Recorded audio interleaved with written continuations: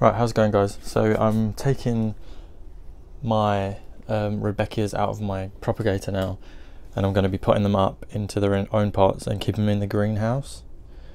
Um, as you can see, they've got quite big. The roots, if I try and hold it upside down, the roots are growing crazy under there, so it's about time I pot them up. I did pot up the other day. I put it up the because if you remember, I had the six in this container, and then I also had um, three in one of these containers. Um, so the other day I potted up those three, which are here. I just thought I'll take the risk with these ones a bit sooner than the others because these ones haven't grown as quickly. So they were the guinea pigs, if you like. Um, so they're going to be going into the same size pots. So just just these ones for now, and then um, they're just going to be in the greenhouse. Uh, right, so I'm going to be using just ordinary potting compost, so multi-purpose, just the the cheap stuff you get from B&Q. So I'm going to fill it up halfway, pull these out, and I'll show you what the roots are looking like. Oh, they're all coming up together. That's how. Right, let's actually try and might be able to lift them all out if I hold on to the edges. There we go. Yeah, the roots are just so tangled right now. So if I just gently... It doesn't matter if I damage too many roots because they've got so many. They're not, they're not young and... Right, I'm going to keep them in the tissue tube, so I'm just going to kind of break apart the edges just because I don't want it sticking out, out of the top of the soil. So just like that, if I try and bring you closer, I'll just move the camera down a little. There we go. So I'm just pushing it, the edges down like that just because I don't want them out, out sticking out of the soil. Uh, this is the one that looks like the odd, the odd one out. This is the one that's different to all the rest. So it'd be quite interesting to see what this flower turns into. And if it looks anything at all like the, the others.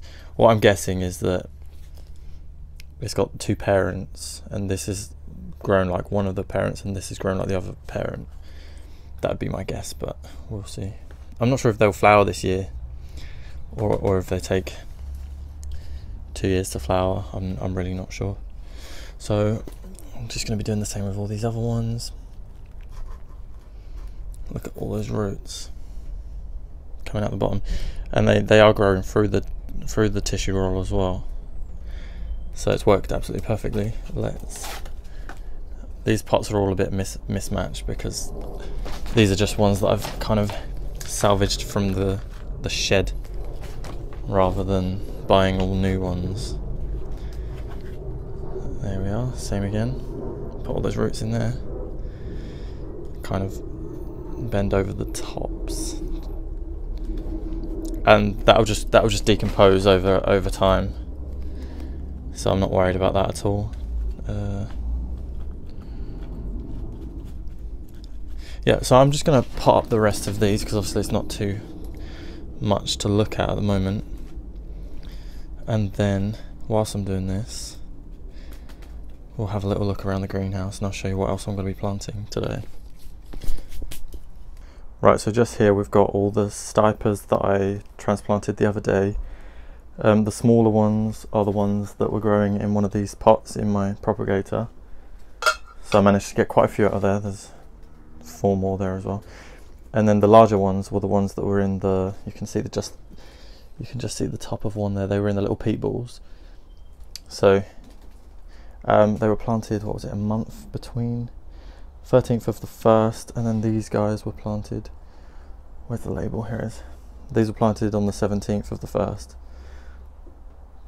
Oh, not much time between them at all. And look at the size difference.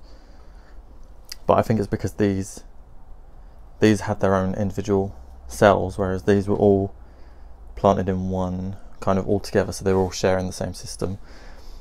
Um, I planted up my cabbages as well.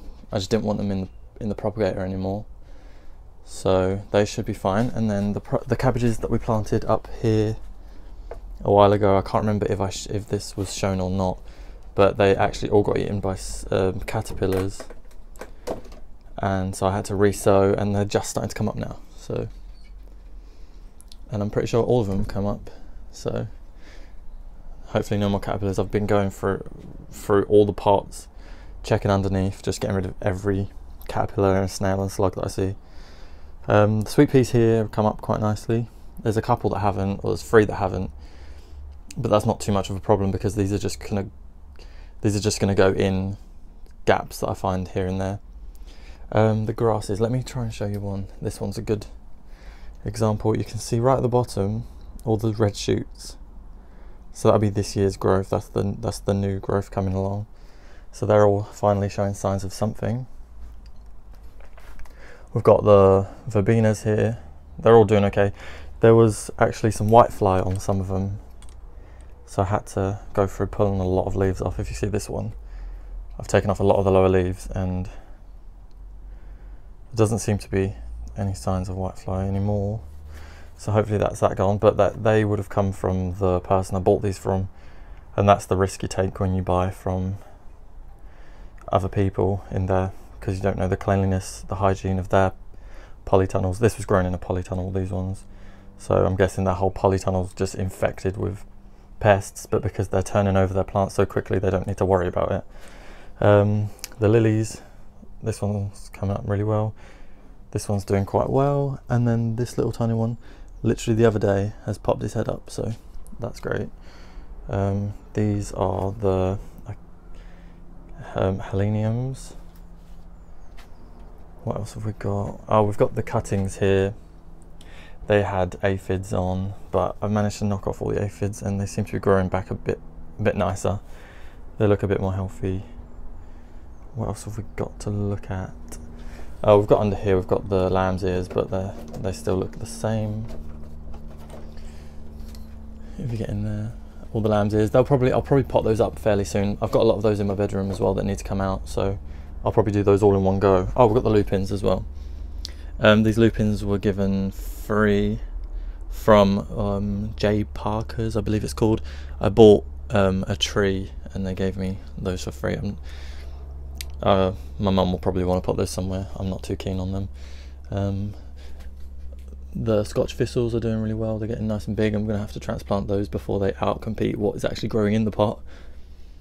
And that's probably it for now. There's not really much else to look at, but I'm going to be sowing these seeds. So I've got the um, Scabiosa stellata. They'll be going in today. And then I've got cucamelons and I don't think it's too early to grow these, but I'm going to give it a go. There's 60 seeds, so even if they do die the first time around, we can plant some more. So I'm just going to carry on, finish off with this like I said I was going to, and then, oh, one more thing. Ignore my crocs. I'm sure someone's going to be embarrassed by that. Um, the Miscanthus um, sinensis, you can see all that green growth is brand new, so that's coming up nicely as well and it, it's kind of got this I didn't realize this in the pictures when I bought it but it's got kind of got this white edge on it. You see that? Looks almost variegated. So that's quite nice. I didn't I wasn't expecting that. Um, yeah so I'm gonna carry on with these and then I'll be right back. Right there we go. So I've just finished potting up the six Rudbeckias there. I'll give them a good water after um, and I'll water the seeds at the same time as well um, I've just filled up the seed tray and I've put it into its bottom water tray. Let's try and sort this camera out. It's really. There we are. Um, oops. There we are. Right, I guess I'll go for these first. I'm not sure how many I'm going to want to plant of each. Maybe I'll do um, two rows of the cucamelons and then the rest can be the scabious. Uh, yeah, so I don't know what the seeds look like on these. Uh, it says to plant March to April. Um, you can sow indoors in early spring or autumn. Sow thinly onto the surface of good quality seed compost. This is just regular regular multi-purpose compost because seed compost is too expensive. Oh, the seeds feel fairly big actually. Right. This should be fairly easy then. Let's get this open. Let's have a look. Oh wow, yeah, they're really big. I was not expecting that, look.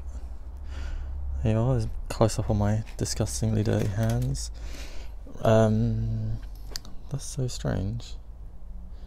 I wonder if there's a, that's only one seed or if there's more than one seed in that in that section. Right, I guess I'll just I'm gonna do one for each cell because I don't need too many. That's so strange. Right. There we are. So much nicer being able to come home and get some gardening done in the evenings now it's getting lighter later. There we go. One more. Cool. They are so strong. I've never seen seeds like that before. Let's get them back in.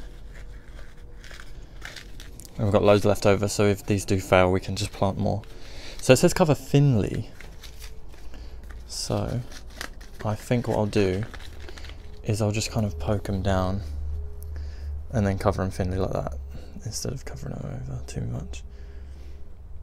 And I'm going to water from underneath, so I'll fill up the water tray with water instead of going straight directly over them with a watering can. Just so it doesn't bring the seeds back up to the surface again. There we are. Uh, these, it said they'll take about 21 days to, to germinate, which it probably will be true as they're out in the greenhouse. So if they were up in my room, it's obviously warmer temperature, they'd probably come up a lot sooner, but there we are. So the label with the date, and I'm going to stick that right in where that first one was there. So then we'll have these eight, which will be the cucamelons. So I've never grown cucamelons before either, so these are two firsts for me. But I was thinking I can keep these cucamelons inside the greenhouse. I thought that would be quite nice. So in, in the greenhouse this year I'll be growing the chilies, which are already in my propagator upstairs, and then I'll be I'll grow some tomatoes because I, I grow tomatoes every year because my mum likes them. Um, and then the and then these. So I don't know what else. One, two, three, four, five, six, seven, eight. So I'm just going to stick one per cell in these as well because I think eight plants is quite a lot anyway, so it won't matter too much if they don't all germinate. And like I say, I'm not sure if this is too early anyway, so we will see together. There we go. Uh, these, because they're such small seeds, I'm not going to cover these deep. So I'm just going to do the exact same, just kind of poke them down, just gently, just cover them. So I just want them to be in contact with the with the soil because they're only small seeds. They're not going to have too much energy to push up through a lot of dirt. There we are. For some reason I get really like breathless when I'm doing my videos, when I'm talking. I'm not sure if it's because I'm talking too much or if it's a nervous thing. So, sorry if I come across really awkward. Right, and then we've got the label cucamelons and the date again. And I'm going to stick those, that right in the corner there. So that I'll know, I'll know coming from this way that there's two rows of that and then three rows of that. Cool, that was quick and easy. Now, now I've just got to wait, wait until they come up. Um, I'll probably do, I'll be doing more videos of my greenhouse over the coming weeks anyway because there'll be a lot going on. Um, let me quickly turn you around actually. If you remember, I had that red currant bush in my greenhouse it's kind of exploded. And I've got one outside as well, just if you can see. Just there, you see that twiggy one. My greenhouse really needs cleaning. Um, but you can just see the temperature difference, how this one has shot so quickly and that one's still just twigs. Obviously the buds haven't burst on that, whereas this one they've, they've grown quite a lot. So what else? There's not really much else to show. I've got a couple of carnivorous plants there, but they are just empty pots right now. Nothing to see in there. Um, but I'm going to keep these ones in the greenhouse in the summer because I'm going to see how they do compared to the ones that I've got in my bedroom. So this came as one plant, but I divided it into three. So I've got the two here and then one up in my bedroom. And I just thought it'd be quite cool to see what they catch in here. Obviously I don't want them to catch bees, but we're going to have to kind of, it's going to be a trial and error to see what they, what they do. Um, yeah, other than that, there's not really much else to show. Um, I'm probably going to transplant these into bigger pots. Although the beds might be ready for them to go out fairly soon anyway, so maybe not.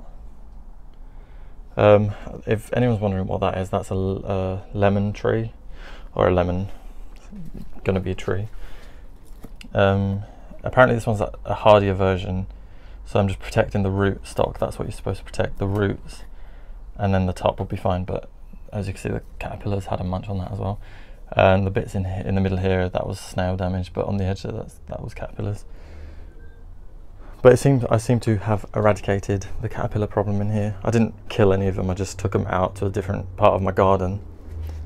Um, and the slugs and snails seem to be fairly on the down low. I keep picking up like everything that I've got in here, like the buckets and the larger pots on the floor and the stuff under my potting bench.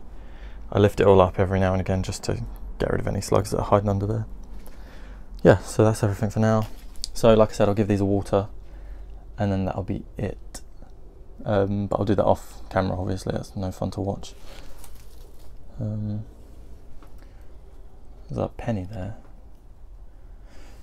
Right, anyway, thank you guys for watching. Sorry if my video is getting strange or boring. Um, I'm trying out my new uh, microphone today that my brother got me for my birthday, so let me know if that sounds any better or if it needs adjusting, let me know, that'd be cool to hear. Um, other than that, I'm just rambling and talking really slow and it's probably really boring. So I'll see you guys in my next video. Thank you for watching and yeah, I'll bring up more updates soon. All right, thank you.